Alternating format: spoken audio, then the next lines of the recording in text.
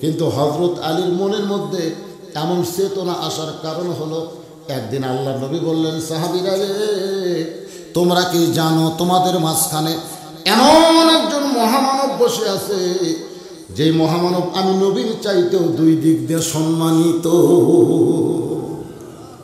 সাহাবিরা বললেন, হুজুর, আমাদের মাঝখানে তো বসে নেই, আমাদের সাইডে আপনি বসে আছেন। আল্লাহ রাসুল বললেন, না, আমার চাইতেও দুই দিক দিয়ে দামি। সম্মানিত সমস্ত সাহাবেরা বলে রাসুল আল্লাহ আপনার চাইতে দামি কোনো মানুষ পৃথিবীতে কোনোদিন হতে পারে না। রাসুল বললেন, তোমরা না মানলেও আমাকে মানতে হবে।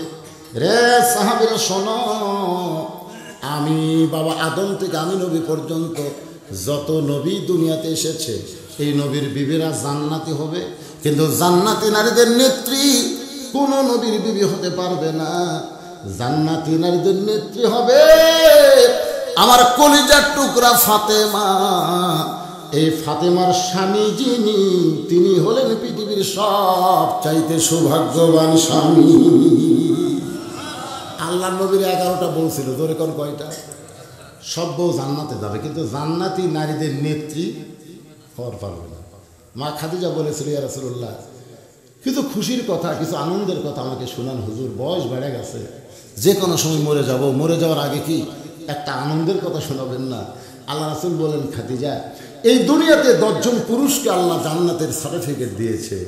এই দুনিয়াতে দশজন নারীকেও আল্লাহ জান্নাতের সার্টিফিকেট দিয়েছে। পুরুষের মধ্যে এক নম্বর সার্টিফিকেট প্রাপ্ত হলো আবু বাক্কার সিদ্দিক, আর নারীদের মধ্যে এক নম্বর জান্নাতের সার্টিফিকেট প্রাপ্ত হলো খাতিজাতুল কবরা। খাতিজা বলতে হুজুর আমি যদি এক নম্বর জান্নাতে হই, তাহলে আমার মেয়ে ফাতেমা কয় নম্বর? আমার মেয়ে ফাতেমা কয় নম্বর? রাসুল বললেন খাতিজা ফাতেমা তো জান্নাতের কোনো নম্বরের মধ্যে নাই। ফাতেমা হলো জান্নাতি নারীদের নেত্রী। আমার সেই মায়েরা, মা ফাতেমারও শুনতে চায়। মা ফাতেমা জান্নাতি নারীদের নেত্রী হওয়ার পিছনে একটাই মাত্র আমল। সব আমলে আছে, কিন্তু একটা আমলকে গুরুত্ব দিয়ে তাকে জান্নাতি নারীদের নেত্রী বানানো হয়েছে। সে আমলটা কি? জোরে কম আমার মায়েরা ফাতেমার ওয়াজ শুনবে, কিন্তু পর্দা, তাহলে হবে। কে মায়েরা? আপনার যদি ফাতেমার ওয়াজ শোনেন, তাহলে ফাতেমার মতো পর্দা করা লাগবে। গত বছর জামিলা আর ফাতেমার ওয়াজ আমি এখানে করছিলাম, ঠিক কিনা বলেন? আমি মা ফাতেমা নিয়ে সুন্দর করে আপনাদের বুঝাই দিয়েছিলাম মা ফাতেমা কেমন পর্দা নিশি যার কবর পর্যন্ত যারা হজ করেছে, আমি তো আমার এই হালিমাতুস সাদিয়া, নবীর দুধমার কবর, এই কবর জিয়ারত করে তিরিশ মিটার ফাঁকে ইমাম মালিক রহমতুল্লাহ কবর। এই কবর জিয়ারত করে যখন উত্তর পূর্ব কোণের দিকে রওনা দিছি, যারা হাজির সাহেব, তারা সবাই একমত হবেন, যেই রওনা দিছি পুলিশ, ওখানে কিন্তু পুলিশ থাকে। আর এই পুলিশ থাকে পাকিস্তানি, বাংলাদেশ আর ভারতের মুসলমানের জন্য। অন্য দেশের মুসলমান এত খারাপ না, কিন্তু আমাদের এই তিন দেশের মুসলমান, এরা যেটি সেটি চায় এরকে চাওয়ার কোনো আক্কেল নাই, কথাটা বুঝলেন না? যেটি সেটি চায়।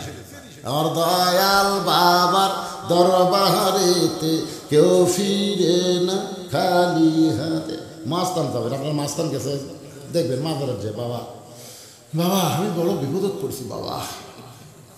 এরা ঝিনাই দেওয়া যায়। এরা গাছে, বাঁশের কুঞ্চি পেটে পানি বার হলে সেটা পর্যন্ত খায়। জোরে কর কথা ঠিক সেটা মানে আমার বই খাওয়া সেদিন আমার পাবনা বাচ্চালো কয়েক বছর আগে। আমি যখন ওয়াজ শেষ করে বাড়িতে আসে ফজর রাখ দেয় নামাজ পড়ে যখন বিছনায় যাব, তখন আমার মেয়ে আমাকে বলতেছে আব্বু বাঁশের কঞ্চির মধ্যে পানি বের হচ্ছে। ইতিমধ্যে ওর মা আমাকে বলতেছে, ওই পানি খেলে নাকি ব্যারাম বেদি ভালো হচ্ছে? আমি বললাম, দেখো, আমি পাবনা থেকে বগুড়া পর্যন্ত আসার সময় বহু জায়গায় দেখলাম বাঁশ থবের নিচে মা- মেয়ে মানুষের খবরদার যাইও আমি একটা আলেম মানুষ। বাঁশের কঞ্চির পানি খেলে খাওয়া হবে না, ওরা খেলে কিন্তু অসুবিধা হবে। খাইও না যাই না কথা কয় না, চুপ করে। এই কথা কোস না কেন, এই কথা। মানে বোক কিন্তু শোনেন আদরও করা লাগবে আর শাসনও করা লাগবে। কি কোন শাসন করার দরকার নেই? আমার বউ আমাকে এখানে বুকের কাছে নিয়ে বলতেছে, আমার আব্বু দেশি মুরগি ভালোবাসে। আমার আব্বু ট্যাংরা খায় কানস খায়, এলা খায়। আমার আব্বু কিন্তু সোমবারে আসবে। চিন্তা করলাম যে বউ নিয়ে সংসার করি, তার বাপ এটা ভালোবাসে। কি নাই দরকার দেশি মুরগি ট্যাংরা কানস এশিয়ার দই মিষ্টি কিনে দিলাম। আমার শ্বশুর যখন আসলো, আমার বউ খিলাচ্ছে। আমি দূর থেকে দেখতেছি। এক টুকরা দিচ্ছে, আর কাটতেছে না আর এক টুকরা খান বা আর এক টুকরা। আমার শ্বশুর এই জন্যই তোর বাড়িতে আসিল এত খাওয়া যায় খেলে। খাবে না, জোর করে খাওয়ায়। কিছুদিন পরে আমার বাপ আছে আমি দূর থেকে দেখতেছি, আমার বউ পনেরো দিন আগেকার শ্যাতানা বিস্কুট এক থালি বার করে দিয়েছে। যে বিস্কুট খাওয়া যাচ্ছে না মানে পিঁপড়ে কানা করছে প্যাকেট বিস্কুট সেতে গেছে। ওটা আমার বাপের সামনে এক থালি দিয়েছে তা আমার বাপ মুখত দেয়, আর কিছুক্ষণ পর পর লোক মুখে ঢুকে, আমি দেখতে পারি মানে এই দাঁতের সাথে লাগা যায় লোক ঢুকতে তা আমি দূর থেকে দেখতে দেখতে আর সহ্য করতে পারলাম না, বাবার কাছে আসলাম, বাবা কে বাবা, তুই ভালো বিস্কুট কিনিস না? আমি যতবার আসি, তোর বউ আমাকে সেতানা বিস্কুট দেয় পারে এ দাঁতের সাথে লাগিয়া যায় বা কট্টস করে আপনারা কোন আমি কি কিনি না তাহলে ওর বাবক এই সব কিনাবে আর আমার বাবক শেতানা দিবে। আমি ঘরের মধ্যে গেলাম। ঘরের মধ্যে যায় মুসকে মুসকে হাসতেছি। ও দোয়াইলা সাবিল রব্বিকা বেল হেকমা। হেকমত অবলম্বন করা লাগবে। আর বউকে হাসতেছে হাসতেছি।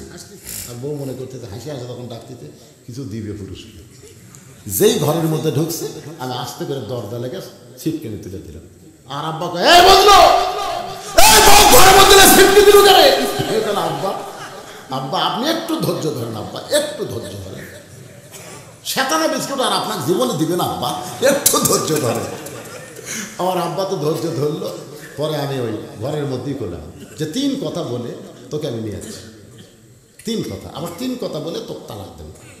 তুই জানিস, তুই পুরানো হয়ে গেছিস, পুরানো জিনিস আর আমার ভালো লাগতেছে না। নতুন একটা বিয়া করব রে। তোর বাপের সামনে তুই সব দেশ। খাবার চাই না, জোর করে খেলে আর আমার বাপ শেতানা বিস্কুট দেশ করে ভগুন ওই একটা খট করে আমার দুই পা ধরে বলতেছে, আর জীবনে ভুল হবে না, আপনি তো দেখেছেন আমি তো এ দেখো না কেন? কার জীবনে হবে না? এরপর থেকে আমার বাপ আমার কয় বাবা দরজা বন্ধ করে কি আমল করছ মানে সে আমল করার বউ ফেরস্তা হয়ে গেছে আপনাকেও মাঝে মধ্যে এরকম দরজা বন্ধ করার আমল করা দরকার ধরে কোন কথা ঠিক কি না বউকে যেমন ভালোবাসবেন। হুন্না লিবাসুল্লাহ কুম আন্তম লিবাসুল্লাহ হুন্না আল্লাহ বলেছেন, স্বামী হলো বিবির পোশাক, বিবি হলো স্বামীর পোশাক। সৌদি পুলিশেরা ঘুরতেছে জান্নাতুল বাকির মধ্যে। একটু মনোযোগ দিয়ে শোনেন। যেই পূর্ব উত্তর কোনায় যাবার চাইছি, এমন সময় পুলিশ আমাদের সামনে মামনু মামনু করল হারাম করে ওই দিক থেকে আমাদের ব্যাক করায়। পরে জানতে পারলাম ওই জান্নাতুল বাকির পূর্ব উত্তর কোনার কোন এক গোপন জায়গায় কবর রয়েছে মা ফাতেমার। যে কবরের খবর কিয়ামত পর্যন্ত দুনিয়ার কেউ জানবে না। কেন জানবে না? কারণ মা ফাতেমার ডিগ্রি হলো জোহরা। এই জোহরা শব্দের অর্থ হলো মুনি মুক্তা মুনি মুক্তা কিন্তু গোপনে থাকার কারণে দাম বাড়ে। হরিণীর পেটের মধ্যে মীরগোনাবি হয়। হরিণীর মীরগোনাবি হওয়ার কারণ হলো আপনারা দেখবেন কোন লোক যদি আপনাদের এলাকায় মাইকিং করে বলে বেড়ায় যে গুয়াতার স্কুল ফিল্ডে একটা বকরির প্রদর্শনী হবে, একটা বকরি দেখানো হবে, একটা মানুষও কিন্তু ওই মাইকিং শুনবে না, শুনলেও থুতু ফেলায় বলবে, বকরি দেখার জন্য গুয়াতা যাওয়া লাগবে না। আমার পাড়া রাস্তায় রাস্তায় বকরি ভ্যাঁ ভ্যা করতেছে জোরে খান কথা ঠিক না আর যদি মাইকিং করে, একটা হরিণীর প্রদর্শন হবে। গুয়াতে হাইসুল ময়দানে একটা হরিণীর প্রদর্শন হবে। তখন সবাই বলবে, আমরা তো হরিণ দেখি নাই। চলো দেখবার যাই। হরিণের প্রতি আকর্ষণ হলো। হরিণ জঙ্গলের মধ্যে পর্দায় থাকে। এই জন্য হরিণের প্রতি মানুষের আকর্ষণ হয়েছে। আর বকরির কোনো পর্দা নাই, যেখানে সেখানে ভ্যা ভ্যা করতেছে। এই জন্য বকরি দেখার প্রতি মানুষের আকর্ষণ কমে যায়। আমার মায়েরা, যদি হরিণের মতন পর্দার মধ্যে থাকে যদি জঙ্গলের মধ্যে থাকে, তাহলে হরিণকে যেমন আকর্ষণ হয়, নারীদের জন্যও তেমন পুরুষের আকর্ষণ হবে। জোরে কন ঠিক কিনা আমার মায়েরা বোনেরা, পর্দার অন্তর থেকে শোনেন মা। আল্লাহ নবী বলতেছেন রে আমার সাহাবিরা সাহাবিরা শোনো, বাবা আদম থেকে আমি নবী পর্যন্ত যত নবী দুনিয়াতে আইছে, এই নবীর সন্তানেরা জান্নাতি হবে, নবী হবে। কিন্তু জান্নাতি যুবকদের সর্দার কোন নবীর সন্তান হতে পারবে না। জান্নাতি যুবকদের সর্দার হলো আমার হাসান আর হোসাইন। এ হাসান হোসানের বাবা যিনি, তিনি হলেন পৃথিবীর সর্বশ্রেষ্ঠ বাবা। ধরে কন্যা সোহান কেন? জান্নাতি যুবকদের সর্দার হবে হাসান আর হোসাইন। সোহান বলে হোসাইন। এই যে হোসাইন, আমি এই যে ভারতের সাথে ভারতেরা যে মুসলমানকে হত্যা করতেছে, এই জন্যে যে ওয়ান হার ওয়ান হার মানে কি? ওয়ান হার ওয়ান হার মানে কি? কুরবানি। জোরে কোন আনহার মানে কি? ওম্মে ফজল।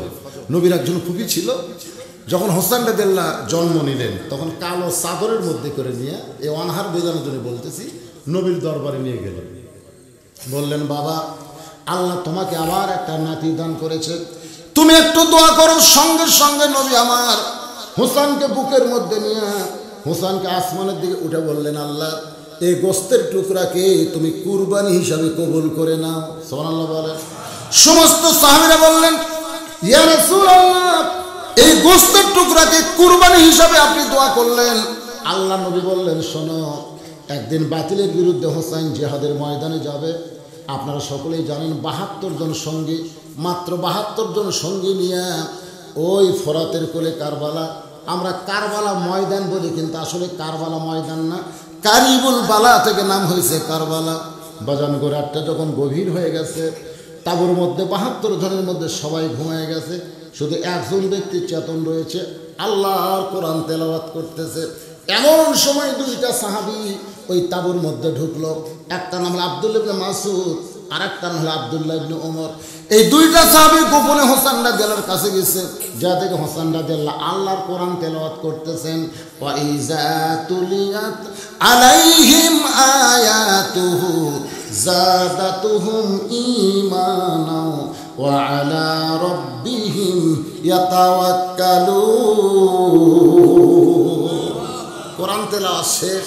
দুইজন হাঁটু গেড়ে একেবারে হোসান রাতের হাঁটুর সঙ্গে হাঁটু দিলাই বলতেন, হোসাইন খামাকা গন্ডগোল করে লাভ একটু মনোযোগ দিয়ে শুনবেন। ওয়ানহার নামাজ আর কুরবানি, হাউদে কাউসারের পানি। ওয়ানহার, আমি বোঝানোর জন্য বলতেছি, হাঁটুর সঙ্গে হাঁটু লাগা আবদুল্লাহ মাসুদ বলতেছে, রে হোসাইন, খামাকা গন্ডগোল করে লাভ কি? তুমি খালি মুখে মুখে ইয়াজিদকে মেনে নাও। তুমি শুধু মুখে মুখে ইয়াজিদকে মেনে নাও, তাহলেই কিন্তু তুমি এখান থেকে মদিনায় ফেরত যাওয়ার পারবে। খামাকা গন্ডগোল করে কি?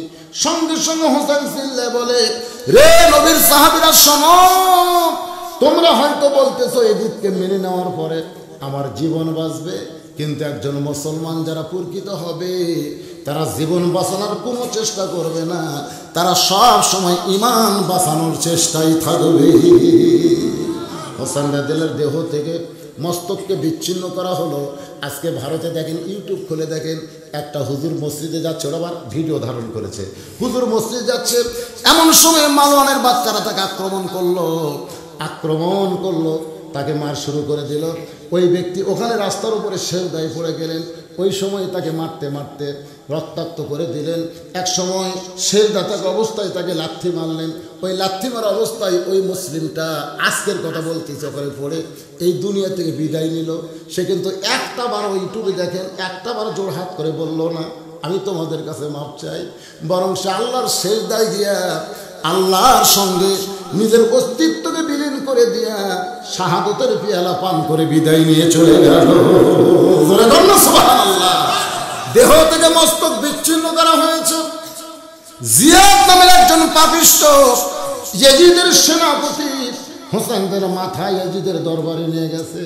আল্লাহর বান্দারা এজিদ তখন ক্ষমতার চেয়ারে বসা ছিলেন, ক্ষমতার চেয়ারে বসে আছেন। এমন সময় হোসেন রাদের মাথাটা যখন এজিদের সামনে নিয়ে যাওয়া হয় এজিদের হাতে ছোট্ট একটা লাঠি ছিল। ওই লাঠিটা হোসেন রাদের মুখের মধ্যে ঢুকে দিল হোসেনদের মুখের মধ্যে ঢুকায় বলতেছে, হোসাইন খামাকা গোয়ার কি করলি? তোমার ভাই পাঠাইছিলাম, তুমি তাদের কথা না শুনে, তুমি আমাকে অমান্য করলে। যার কারণে আজকে তোমার দেহ পড়ে থাকল কারবালায় আর মাথা চলে আসলো দামেশকে। রে হোসাইন, তুমি শেষ হয়ে গেলে, শুধু জেদ করার কারণে তোমার নাম গন্ধ শেষ হয়ে গেল। আর আমি ইয়াজিদ থাকলাম ক্ষমতায়। এই কথা যখন বারবার বলতেছে, এইদের সামনে অনেকগুলো মানুষ ছিল, তারা সবাই মাথা নিচু করে আছে, কারণ তাদের কাছে জীবনের দাম বেশি, ইমানের দাম কম। কোনো কথা বললে জীবন যাবে বলে কেউ মাথা তুলে কথা বলতেছে না, কারণ তাদের কাছে দাম বেশি কার? জীবনের আমাদের দাম বেশি, আমাদেরও কিন্তু জীবনের দাম বেশি। আজকে আমরা অনেক বক্তা, একটা হক কথা বলতে ভয় পাই। অনেকে ভয় দেখায় হুজুর ওয়াজ করে বাড়ি যাওয়ার পারবেন। যদি রাস্তার মধ্যে আপনাকে পুলিশ ধরে, আমি মুসকি মুসকি হাসিয়ার বলি, রাস্তার মধ্যে আমাকে বহুবার পুলিশ ধরেছে, টাকা মারিছি, পুলিশ আমাকে ছেড়ে দিছে। তোমরা বলো, রাস্তার মধ্যে যদি আমাকে আজরাইল ধরে, রাস্তার মধ্যে যদি আমাকে আজরাইল ধরে, আজকে মুসলমান যারা হবে, তারা পুলিশ ধরার ভয় করবে না। তাদের কলিজার মধ্যে সবসময় আজরাইল ধরার চিন্তা থাকবে, জোরে কোন কথা ঠিক ঠিক না আপনারা কি আজরাইল ধরার চিন্তা করেন। আজরাইল ধরার চিন্তা করলে সে জীবনের চাইতে ইমানের দাম বেশি দেবে। সবাই যখন মাথা নিচু করে আছে, এমন সময় আশি বছরের উপরে একজন বয়স্ক সাহাবি, নাম হলো আনাস ইবনে মালে, সে মাথা তুলে বললেন, ইয়াজিদ, যার মুখের মধ্যে লাঠি ঢুকাইয়া তুমি তিরস্কার করতেছো, তুমি তাকে চিনো না। যদি তারে চিনতে তাহলে এরকম ব্যাসাইরা কথা বলতে পারত না। রে তুমি কি জানো, আমি দশ বছর, আমি একাধারে দশ বছর আল্লাহর নবীর খাদেম ছিলাম। ওই খাদেমদের অবস্থায় দেখেছি, এই খাদমত করার অবস্থায় দেখেছি আল্লাহ নবী ঘরের মধ্যে আছে, নামাজের শেষ দায় নবী যখন নামাজের শেষ দায় আমি আনাস নবীর পাশে দাঁড়িয়েছিলাম। হঠাৎ থেকে যার মুখে তুমি লাঠি ঢুকাই দিছ, তার বয়স ছিল তখন মাত্র চার বছর। যেরকম কয় বছর? ওই চার বছরের হোসেন থেকে দৌড়ে এসে আল্লাহ নবীর পিঠের উপরে চড়ে বলতেছে, চল ঘোড়া, চল চল ঘোড়া, চল চল ঘোড়া, চল। আমার এতই খারাপ লাগতেছে। নবী আসেন আমাদের সেই দায় আর সেই নবীর পিঠে চড়ে চল ঘোড়া চল ঘোড়া বলতেছে। আমি আর দাঁড়িয়ে থাকতে পারলাম না। আমি সেখান থেকে গিয়া নবীর পিঠ থেকে হোসাইনকে যখন নামাবার চাই আমি তাকাই দেখি শেষ দ্বারা তো অবস্থায় নবী আমার হাত দিয়ে এভাবে নিষেধ করতেছে। আমি হোসাইনকে ফির থেকে না নামায় সরে আসলাম। কিছুক্ষণ পরে হোসাইন নিজেই বলতেছে যে ঘোড়া চলে না, সেই ঘোড়ার পিঠে চড়ে আমার লাভটা কি?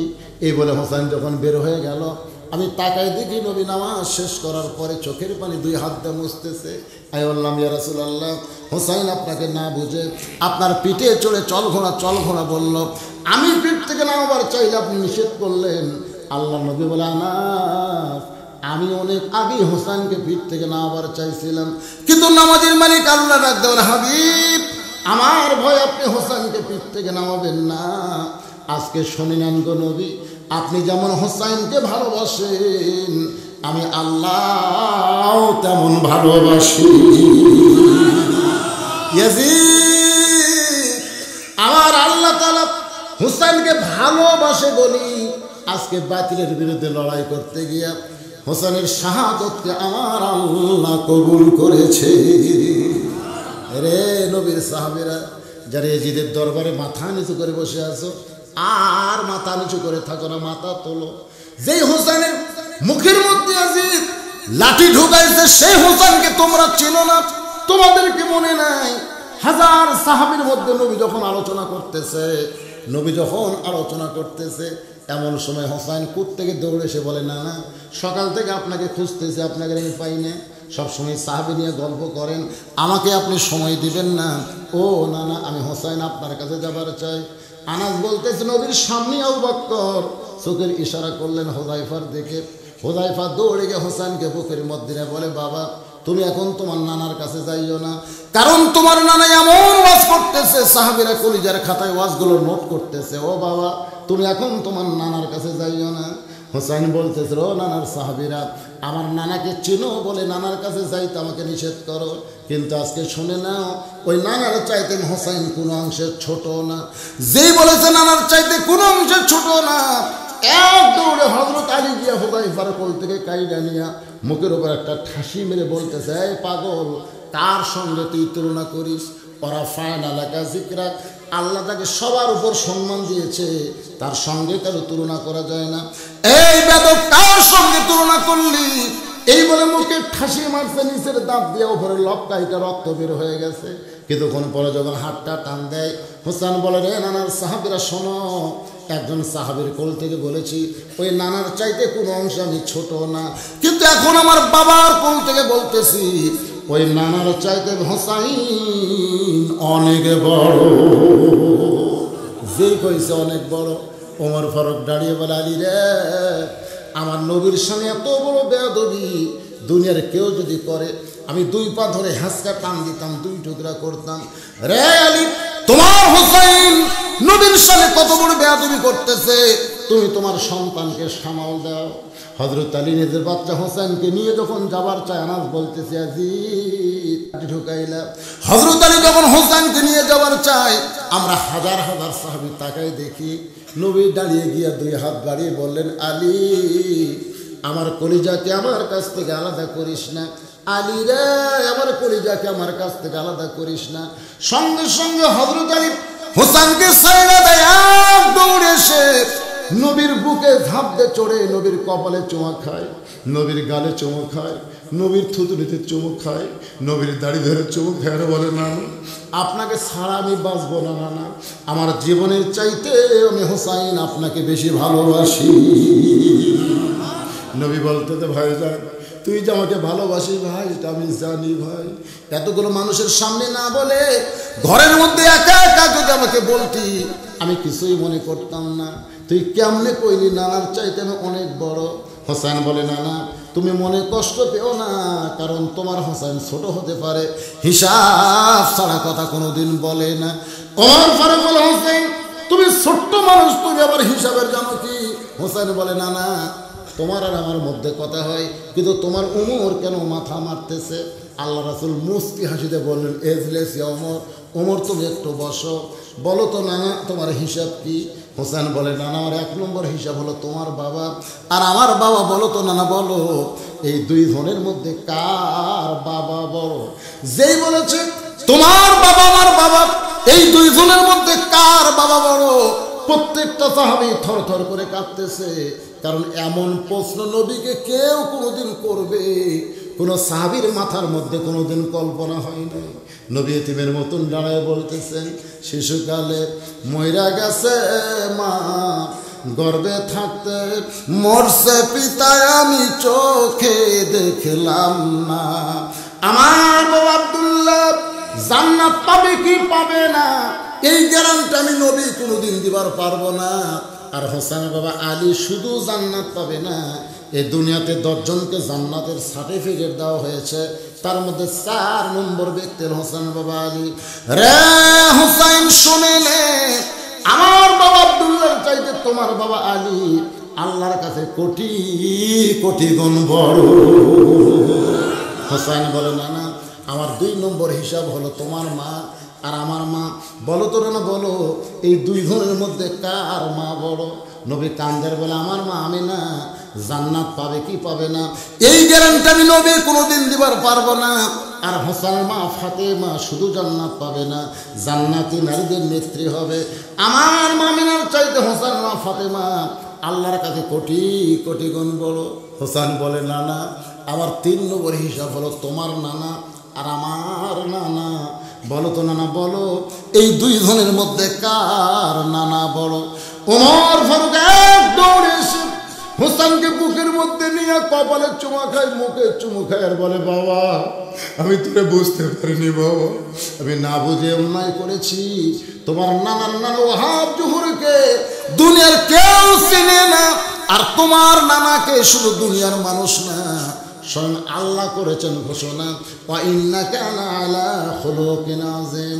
রে হুসাইন, তোমার নানার নানার চাইতে তোমার নানা আল্লাহর কাছে কোটি কোটি গুণ বড়।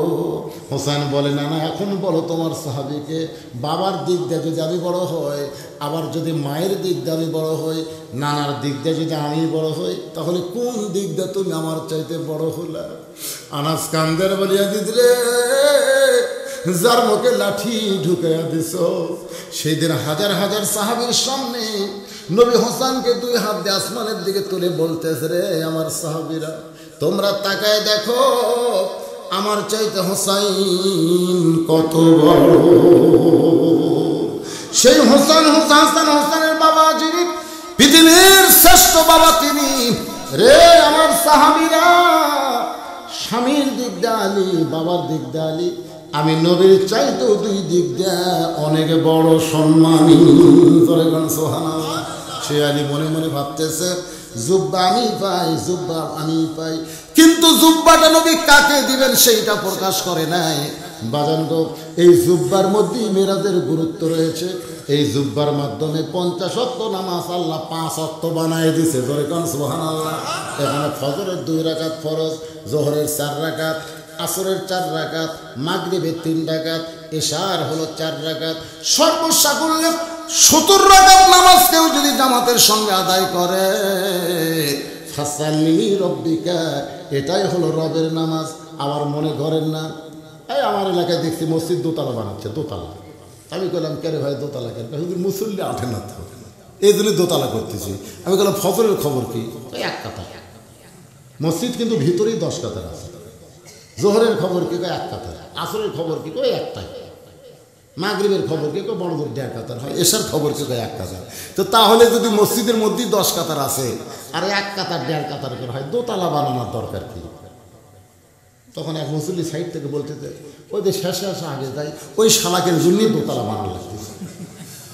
মানে জুমার দিনে শেষে আসা আগে যায় ওরকে জন্যই দোতলা। আপনারা বলেন, এই যে ফাসাল্লি রব্বিকা ওয়ান হার দুইটা আমল, একটা হলো নামাজ, একটা হলো কোরবানি। তারাই পান করবে হাউজে কাউসারের পানি। এটা কি জুমার নামাজ?